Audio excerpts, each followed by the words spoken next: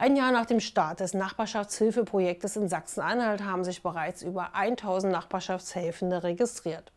Sozialministerin Petra Grimbenne zeigte sich erfreut, dass die Nachbarschaftshilfe so gut angenommen wird. Für den engagierten Einsatz sei ausdrücklich zu danken. Die Nachbarschaftshilfe ging im Mai 2023 an den Start.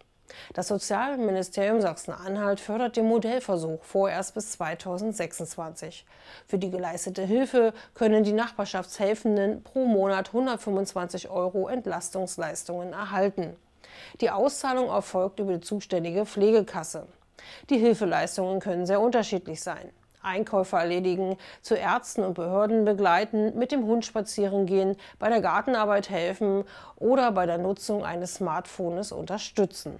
Vorher ist es nötig, sich über die Gesellschaft für Prävention im Alter e.V. PIA qualifizieren zu lassen.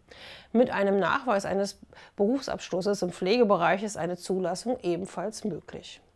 Bei allen Fragen rund um die Tätigkeit sind die Landeskoordinierungsstelle Nachbarschaftshilfe Sachsen-Anhalt in Magdeburg und die mittlerweile acht Servicepunkte Nachbarschaftshilfe in Bitterfeld-Wolfen, Halberstadt, Halle-Saale, Letzlingen, Lutherstadt-Eisleben, Merseburg, Naumburg und Stendal die richtigen Ansprechpartner. Ausführliche Informationen gibt es im Internet unter www.nachbarschaftshilfe-sachsen-anhalt.de.